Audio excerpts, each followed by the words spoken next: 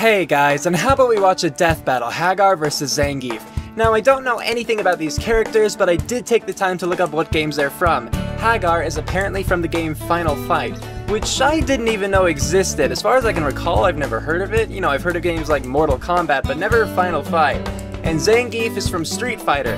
I think specifically Street Fighter 2, but don't hold that against me. Or don't hold me to that? Don't take my word for it. Also, I will be watching the entire death battle, so if you don't want to be spoiled, click off this video. If you want to see the official release, head right over here. So not knowing anything about them, it's rather kinda hard to predict who will win. Um, but I do think that it'll be fun because they both seem like the kind of burly macho men sorts of guys, and that can always be amusing to see. This might be the shortest pre-video segment ever. So with that, let's get to watching. So from what I know, which is nothing, I think I want Haggar to win. He just he kind of reminds me of um hundreds of deadly warriors, um Saxton Hale from Team Fortress 2. Hulking Leviathan. So yeah. Haggar, the mayor-elect of Whoop-Ass, and Zangief, Russia's Red Cyclone. These two wrestlers have never met in person, but their rivalry is legendary. Is and it? It's about time they duked it out. I'm Wizard and he's Boomstick, and it's our job to analyze their weapons, armor, and skills to find out who would win a death battle. They do look fun though. Standing six foot seven and weighing 266 pounds, 30 of which is probably in his manly mustache, it's Mike Haggar! For many years, Haggar was a champion wrestler of Slam Masters, until being elected mayor of Metro City, a metropolis Oh, he's a mayor. overrun with street gangs. Good for Too him. bad there aren't more badasses in office. Most mayors would just put up laws against crime or increase the police force, but Mike takes matters into his own hands. Haggar is a former pro-American That's wrestler cool. specializing in grabs. Just goes out and deals with it himself. He's of Scottish ancestry and proud of it, even having a Scottish flag on his gym. It's likely he has also trained in Scottish backhold wrestling, which involves bear hugging an opponent and keeping your balance while overpowering theirs. Oh. Haggar's got a devastating moveset ranging from suplexes, body splashes, and his own invention, the spinning clothesline So he just, like, lariat, jumps, which like- Zangief stole for his own use. To even the score, Oh. Haggar copied Gief's spinning pile driver. When Haggar isn't overpowering people with his pure manliness, his weapon of choice is a blunt pipe. Hey, he's a mayor that kicks ass and recycles. There Even we after go. his victorious election, Haggar continued his rigorous training. By pile driving sharks, It appears Haggar wrestles bull sharks, one Wow. of the deadliest sharks on Earth. These can grow up to 11 feet long and weigh up to 500 pounds. Wrestling these proves Haggar's proficiency in the Scottish backhold, as he keeps his balance against the thrashing sharks until he can pile drive them into the beach. next Oh. drop movie needs more Haggar. Unfortunately, during his time as mayor, Haggar was undoubtedly forced to prioritize politics over training. It's likely Right. he didn't have much time to learn new techniques or train against many other wrestlers. As a result, he uses moves and skills from an older era. But they seem to work pretty damn well. Oh yeah, He as long as they work, lost his right? touch. Right? Mike Haggar, the candidate who puts people first. Zangief stands Zangief. 7 feet tall at 350 pounds, weighing in as one of the strongest on the street fighting circuit. And as a testament to his manliness, check out that wicked shin hair. Zangief is a champion wrestler in Russia, using push and pull techniques to throw his opponents off balance. He also specializes in Sambo, a combination of wrestling and martial arts. He's not skilled in leg locks and chokeholds, but his grappling, submissions, and He groundwork does are look pretty good. none. Zangief's best moves include his double lariat, atomic suplex, flying powerbomb, and a wicked Oh, backhand ow. called the vanishing flat. A move Zangief learned specifically to counter projectiles.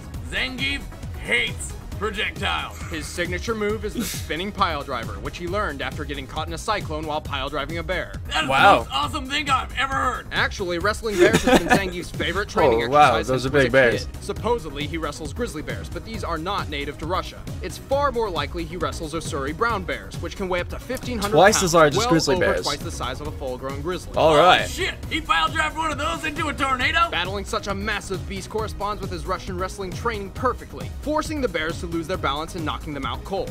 Zangief Wow. is a loyal Russian through and through, always fighting for his country rather than personal gain. He is often employed by the Russian president as the country's official fighting representative. That said, Zangief is pretty dim-witted, more a follower than a leader. He Hmm. fights with instinct rather than reason. All the more reason to get out of his way. Poor dog. Zangief broke you. All right, the combatants are set. The unstoppable force against the unmovable man. Get ready, Let's end pause. this debate once and for all. Wait up, first I gotta pay for my laser-guided kitten cannon. Laser what? Thanks to Netflix. Suck it up, you babies. This kitten cannon's important to me. Now, okay.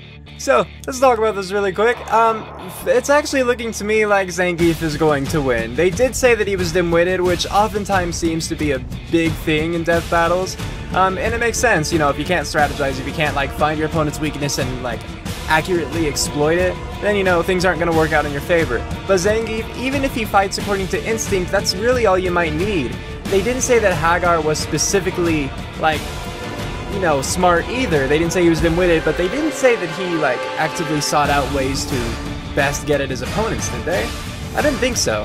And, um, yeah, unless they take, like, the politics into that, I don't think that has anything to do with it. It's intellectual, kind of, but, you know, not related to fighting. Um, it seemed to me, too, like Zangief had a more varied and a more, like, kind of vicious fighting style. I mean, Haggar seemed great, and I still think that I like him better, because, like, as a character, he just looks he looks funnier to me. Saxton Hale, Team Fortress 2, like I said. Those kinds of guys are funny. Cave Johnson sort of thing. But I'm thinking Zangief is to win this one. So let's get back to it. And play.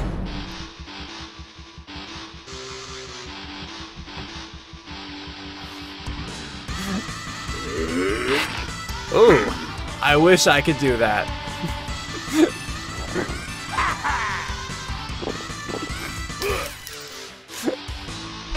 Fight. Good start. I like this.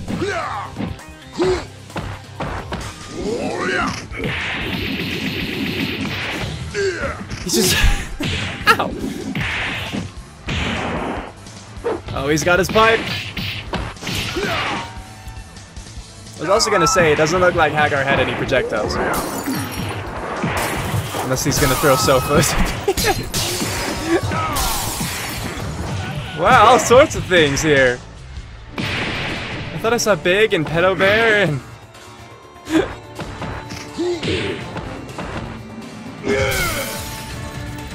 oh. Are they gonna start switching? Yeah, oh no! Ah! Oh! Ah! Who's gonna end up on bottom? I can't tell! Looks like Hag. ha! Ah! Ha! A great man has ah! fallen today. Haggar and Zangief's similar moveset appeared evenly matched, anticipating each other's moves and countering with their signature attacks. He led a long, productive life, kicking ass, ruling Metro Poor City, Boomstick. keeping the beaches safe from road sharks. Not only is Zangief almost 100 pounds larger than Haggar, he's also 13 years younger and been training all his life. I'm Oh. gonna miss that wonderful mustache. Zangief's youth and lack of political agenda were enough to give him a slight edge. Poor Haggar. He may pile drive sharks, but Zangief's bears are three times larger and probably twice as dangerous. There's Sure, that Haggar too. can grapple a half-ton shark without falling over, but if Zangief can push around 1,500-pound bears as a hobby, Haggar didn't stand a chance. Yeah. He definitely put up a great fight, though. That he did. Keith just found his window of opportunity. The winner Ha- is Zangief. Next time Alright, claps on for Death Zangief. Battle. Ah! Thumb my microphone.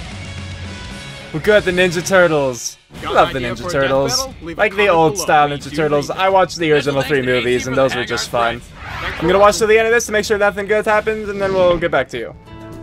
Nope, so there was nothing at the end of that one, so let's get straight to talking about it. Haggar versus Zangief. I really enjoyed this fight just because, again, like the macho-ness behind it. It's funny, it is. Um, I still think that Haggar was my favorite of the two. Again, I listed those reasons before. He just seemed funnier to me, and maybe that's a big winning point for me, I don't know. But I didn't even think about the bears exactly when I was thinking about how Zangief would win. I was more thinking about like the versatility of his moveset and how he just seemed to be more powerful. But the bears certainly fit, and they certainly help confirm that sort of thought. So there we go. I'm not sure if they talked about the ages. They used that at the end, like in their conclusion. If they used it during like the analyses, I just missed it, but I guess that would play into it too. Um, obviously, Haggar must be a little bit older if he's been in office for a while. But Zangief, you know, he really had that going for him. If he's younger, he's probably, you know, more capable in that sense. I don't know. Not to say that all like older men are not, but you know what I mean. And all the little references that were thrown out in this one, everything that was like tossed out the window, that was great. Um, I think that Wiz animated this one, right? So, yeah, good job, Wiz. That was good. Another thing I thought while watching it, just at the end with that whole like cyclone and pile driver sort of thing, was um, did Haggar have one of those? Because I knew that he pile drived people, but did he cyclone while doing it? I know Zangief did because, you know, the whole like tornado kind of thing or whatever it was. But if Haggar wasn't trained in that, if he wasn't like efficient in that himself, or proficient, yeah, proficient in that himself, then Zangief had that on him too. He had more control. He was more used to that kind of attack, and so he could better land it how he wanted it to land. And going from the top of a building, or somewhere high up in the building, that would do some damage. So I thought that was fun. I'm not going to complain about the results or anything. I agree with them. And another good death battle. That was good. I enjoyed that. So with all that, thanks for watching. I hope you enjoyed that. And if you did, of course, feel free to like, comment, and if you're new, even subscribe. It means a lot. It really helps me out, and I would love to have you guys. So tune in next time for my next video. And until then, take care.